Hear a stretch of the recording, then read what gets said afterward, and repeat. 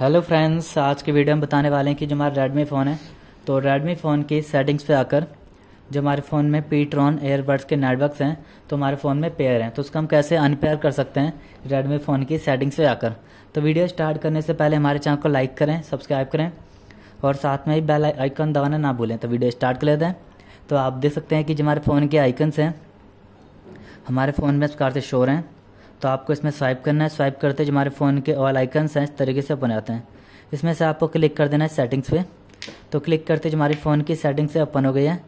तो इसमें जो हमारा ऑप्शन आता है ब्लूटूथ ऑप्शन तो हमें इस पर क्लिक कर देना दे सकते हैं ऑप्शन आ चुका है। तो क्लिक करते जो हमारी ब्लूटूथ सेटिंग से ओपन हो गई है। तो हमारे जो पी ट्रॉन एयरबड्स के जो नेटवर्क्स हैं, हमारे फ़ोन में देख सकते हैं कि पेयर है। तो हम इसको अनपेयर करना चाहते हैं। तो अनपेयर करने के लिए हमें इस पर क्लिक कर देना साइड पर साइड पर क्लिक करते हमारे पास ये कुछ ऑप्शन आते हैं। तो इसमें जो हमारा ऑप्शन आ रहा है अनपेयर का। तो हमें इस पर क्लिक कर देना है। क्लिक करते जो हमारे पी ट्रॉन एयरबड्स के नेटवर्क से हमारे फ़ोन में अनपेयर हो जाएँगे। तो आप इसका यूज़ नहीं कर सकते क्योंकि हमने इसको अनपेयर कर दिया है। तो इस प्रकार हम फ़ोन की सेटिंग्स पे आकर पी ट्रॉन एयरबड्स के नेटवर्क को हम अनपेयर कर सकते हैं रेडमी फ़ोन में। तो आपको वीडियो अच्छी लगी तो लाइक करें सब्सक्राइब करें साथ में बेल आइकन दबाना ना भूलें। और थैंक यू